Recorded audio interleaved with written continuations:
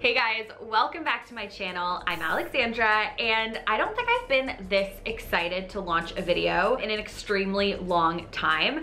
I am making over a YouTuber's bedroom from start to finish, completely virtually. It's an epic transformation. I've never done anything like this on my channel and I cannot wait for you guys to see it.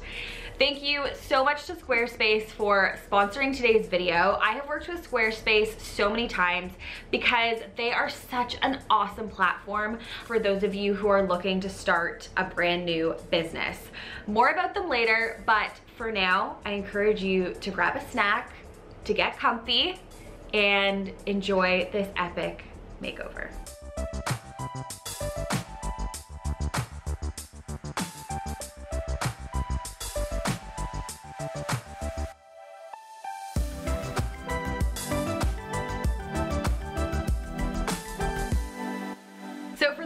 Who are new here, I make over small spaces, typically rental apartments or studio apartments. And my goal with these videos is to really help you gain confidence when it comes to decorating and making decor and design not feel so intimidating. But you know, the world has been totally flipped upside down and I haven't been able to get into people's spaces and I really, really miss it. So one day I was like, okay, I wanna make over someone's space. I wanna send them all the product. I wanna make them a design plan. And then I want them to film the process of putting their space together. And I immediately thought of Tasha Leelyn. So I messaged her and I was like, hey, do you by any chance have a room in your in your home that you need made over? Like, do you want a free makeover? And she was like, well, in fact, my bedroom is a total blank slate. Do you wanna do that space? Hey guys, my name is Tasha Leelyn. I have a YouTube channel called Tasha Leelyn. It's a whole lot of like lifestyle content, dog content. I currently live in the country with my four dogs and I recently rearranged my house and I moved my office studio space to a separate building. So my new bedroom is in my old office space. I've just neglected it. I've been spending all my time designing the studio, so I need some help. I felt like the decor gods were just shining down on me. They were like, here's the perfect space with someone's style that you really love go for it. So the way this makeover is going to work, I am going to get measurements and before photos from her, and then I am going to come up with a mood board, a design plan, totally map out her space for her, and then send her products in the mail to her door. She has no clue what these products are going to be. She has no clue what the room is gonna look like, and it's her challenge to unbox everything, follow my design plan, and put this space together. Crazy. I know. So first things first, I jumped on a call with Tasha to talk about her space, take a look at the before photos, and really get a sense of what she wants and needs in this bedroom. Hi. Hi. I'm so excited we're doing this. Oh my gosh, I'm so excited. This this needs to happen. It needs to come into my life. Look at this. Look at this. Okay, so I'd love to hear from you um, what you need help with in your bedroom. Let's start with that. Like what's not working this used to be my home office. And then over the last year i actually like built a studio outside of my house. So this room was empty and i decided to move my bed in here. And then because i had this like home office i spent all my time making it perfect. And then i just came in here to sleep at night. So this has just been the most neglected spot in my home. It just needs like all the help in the world.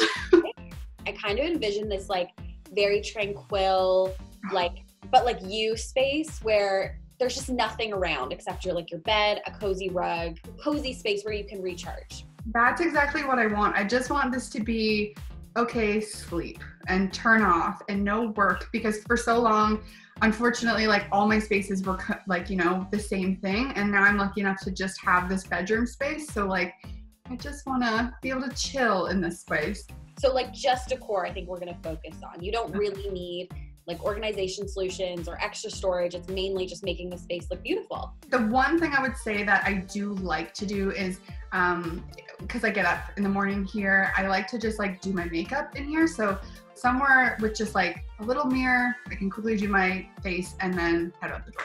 Can you walk me through like what you envision for the space in terms of colors and patterns? Overall, like I'm a very like warm, neutral gal. So whether that be like an ochre, a mustard, a terracotta, I have a very boho style, but I like to call it like kind of like country gal, boho, desert, kind of chic. Um, it actually totally encompasses your style. Like you know. okay. And you have four dogs, right? I have three right now and a rescue. Okay. So I did tell you I need to keep this dog bed. I mean, I will say it's a beautiful dog bed. It's an Urban Outfitters day bed. It's like gorgeous as it is, but I need that because there's so many of them. If I didn't have that, they all four would be in my bed and it would just I would never sleep. okay, so we have to find a solution to make the day bed work. Yes. safe. It could be cuter, I think. I also chuckled that you have a day bed for your dogs. I'm like, do I have to get a day bed for my cats? Like, I, yeah. is that a new thing? I get. So here's what I'm thinking. I'm thinking lots of natural materials like this woven pendant and then lots of accessories made from wicker or rattan, a really fun, inexpensive DIY headboard with paint, lots of earthy tones, mustards, rust, but then soft pink sprinkles here and there, a rug that kind of ties all of those colors together, some Moroccan style cushions. As Tasha mentioned in our call, she actually doesn't keep any of her clothes here, which is perfect for me because that means it's all about decor and just making the space feel beautiful and tranquil. So here's how it's gonna work. I am ordering all of these items. Tasha has not seen any of them except the bed. She's gonna like open it up day of and hopefully she likes it. Kind of nerve wracking for me. I'm also sending my plan, a couple like really, really rough sketches. Guys, drawing is not my strong suit, so she gets a sense of placement. She's gonna be adding um, some of her own personal touches into the space. Of course, I will be on call if she has any questions, but I'm hoping that all of this information will be enough to guide her through this decor process. Let's head in and see how she got on with day one. Welcome to day one of this makeover. The first thing on the agenda is we need to get this room painted. Are you guys gonna help? I'll take that as a no.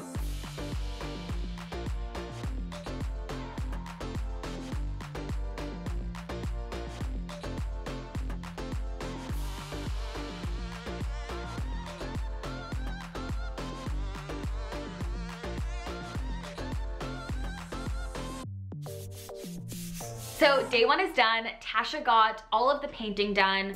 She got the bed built, which is awesome. I don't know if I'm just really bad at reading instructions, but regardless, it's done. So here's the bed.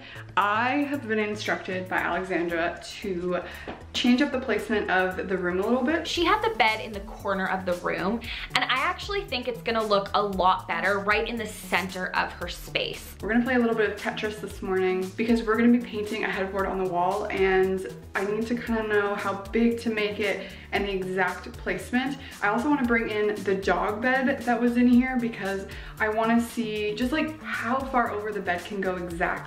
This is what the space is looking like right now. We have this sort of amount of space here, which is definitely more than enough to walk. And then over here, we have about this much space. I know that Alexandra did get me like a floating nightstand, she said, so we should go and open that box and see what it looks like. What the? Oh my gosh. I'm pretty sure this is the side table.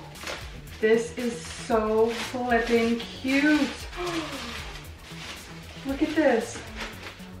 There is not enough space there for much, but like it would be nice to just put like glass of water, your phone. This is so cute. Oh my goodness. I'm gonna call Alexandra and I'm gonna ask her about the placement of both nightstands and the bed. I know that once I have this headboard on the wall, it's like the bed has to stay there. So let's give her a call.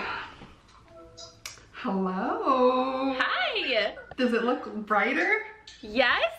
Oh my goodness. Oh look, vlog. Yay. Okay, hold on. Let me just set you up here. Ask away. All right, so number one question is placement of everything. Because we're doing the painted headboard, we we have to get it right the first go. so, yes. This is what I have going on right now. So there's not like too much space over here, but there's a lot of space here, definitely for what we wanna do. And then if you go over to the other side, which by the way, I just opened this. Yay! It's so cute. Like, I've never even seen anything like this and it's perfect. Right? It's like the perfect size. But, like, what are your thoughts? Like, this is enough space to walk for sure. Do you think this is the best? I would say that the side table on the left will work as long as you think that the chair for the vanity will fit. I don't see that being a problem. I really don't. But yeah, I'm just worried about doing the headboard thing and then Being like, oh crap, you should have done it over more, but No, I think it looks I think it looks awesome. Okay, I'll just probably mark off where the bed is so that I know when we go to do the painted headboard, like exactly where it is. I'm so Right. excited. Yay! Thank you're you. getting the headboard today. Yes, So right now, right now. Yay. Okay, good luck and call me if you need anything. Okay, I will, bye. Bye. Before we continue watching this makeover come to life, I wanted to remind you guys that I have a website, alexandragater.com, that I built using Squarespace that has links to my Amazon shops, both US and Canadian, my merch shop where I sell cute tees and tote bags. I also have a little spot there where you can sign up for my newsletter called The Decor Edit. My newsletter is such a great place to get extra decor content from me, a lot of product suggestions every week. A huge shout out to Squarespace for sponsoring this video. As I mentioned, I've built a website using Squarespace. The thing I love about it most is that it is so easy to navigate. For someone who doesn't have a lot of time as a small business owner to, you know, deal with HTML codes. Squarespace makes it easy, effective. You can run an online store. You can look at analytics to see, you know, what is performing well. You can send out newsletters to all of your subscribers. So it really is the best platform to tackle your business on. If you guys have been thinking about starting your own business, maybe turning your hobby into a side hustle, or if you've been thinking about creating a new website, head to squarespace.com for a free trial. And when you're ready to launch, go to my link, which will be right here, to save 10% off your first website or domain. Sign up for my newsletter. Go visit my website. Maybe start your own website using Squarespace. and let's see what Tasha is up to. So now we are going to tackle a painted on circle headboard, which I'm super, super excited about. If you guys would like to see how I created this and all the ins and outs of it, you can check out that video on my channel. So yeah, let's get to painting. Alexandra has sent me three surprise paint colors. This first one that I'm opening is called Plantain Chips. Ooh, she's like a bright, bright yellow. This next one is called Amber Brew. Oh my gosh. Ooh, I think I'm liking that one a little bit more. Next one is called Butter Rum, which just like sounds perfect. Ooh, oh goodness. Let's do a swatch of them all on the wall. I'm really loving this one. I've been loving this one since the start. I think we should go with our gut. And let's do this color. I think it's I think it's the best. Now you guys could take this off if you wanted to, but I'm gonna freehand it because I feel like it might look kind of cool if it's not perfectly perfect, you know?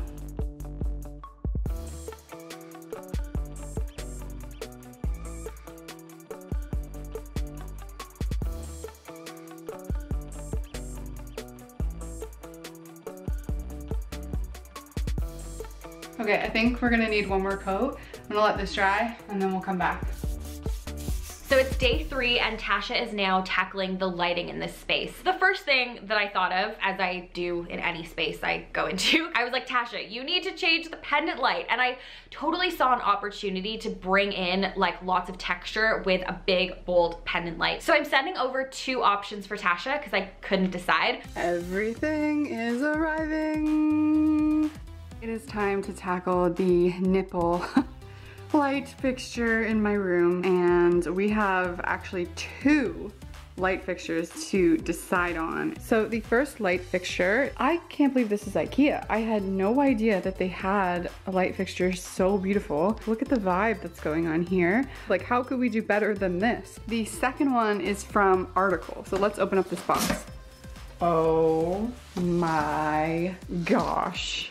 What the heck? She did it to me again. Okay, let's let's pull this out so we can see it.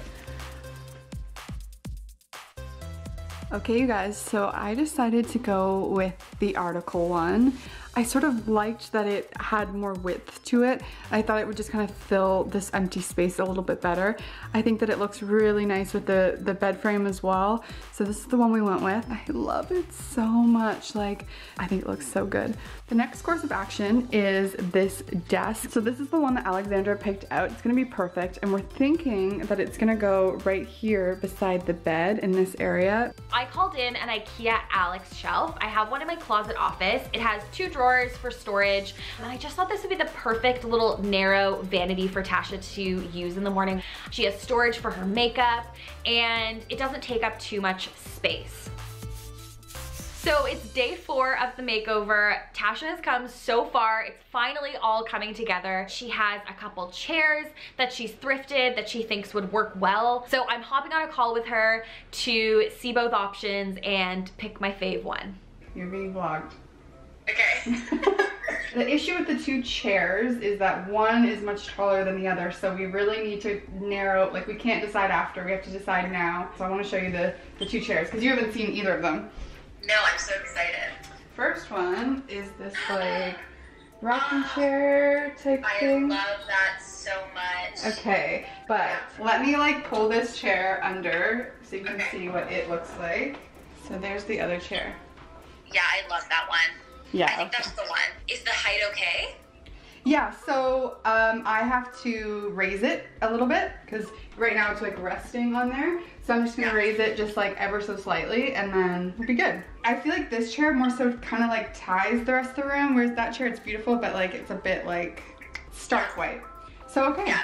all right. It looks incredible. Now it is time for Tasha to hang these linen curtains that I sent her, but I'm throwing in a bit of a DIY twist. So what you'll need are two leather knobs. I got these ones from Ikea. You could get yours on Etsy. And you also need some wall anchors. So you want to put the wall anchors in the wall on either side of your window frame and then twist in the knob. And then you want to slide a dowel cut to the size of your window frame through the leather handles and that's it so simple. I saw this DIY on the paper and stitch blog, probably the most like inexpensive way to hang curtains. I also needed to find a solve for the wall opposite Tasha's bed. We had talked about maybe hanging a TV on this wall, but ultimately Tasha decided against it. So I thought an art wall would be perfect. Now, my favorite way to create more renter-friendly gallery wall is to use photo ledges. So it can be like an ever-changing wall based on how your room evolves and grows over time. For the shelving, we have received a package with art in it. I feel like art is such a personal thing, so I'm kind of scared. Maybe I should just put it in the frame and then flip it over. Okay, let's flip it over, see what we have. Ooh, she cute. Okay, clearly I have framed it very poorly, but look how cute this is. Ooh, okay, I'm peeking. Oh, look at this. I love that. All right, let me get all these in the frame and then I'll flip them over and I'll show you guys.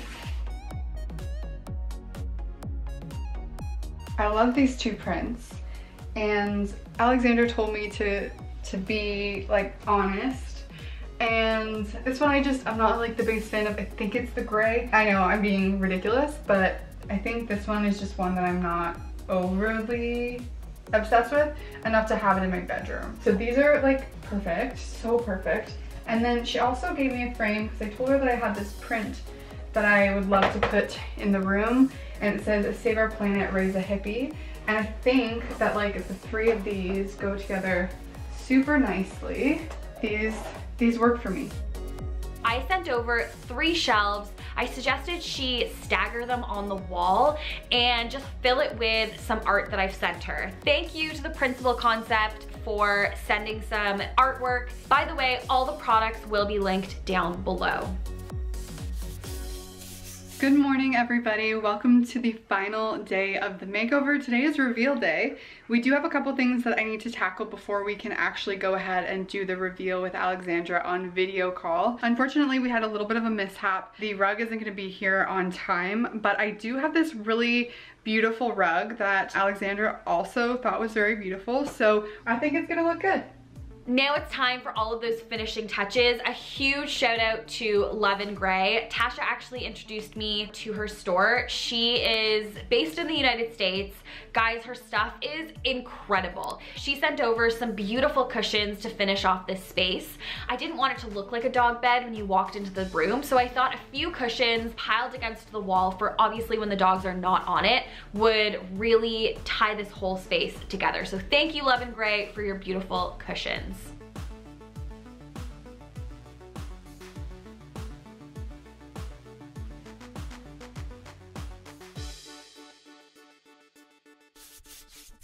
Tasha is finished the room. We're gonna hop on a call and she's going to reveal the space to me. Fingers crossed that she likes her new room. Hi, I see your in the back. it looks so good.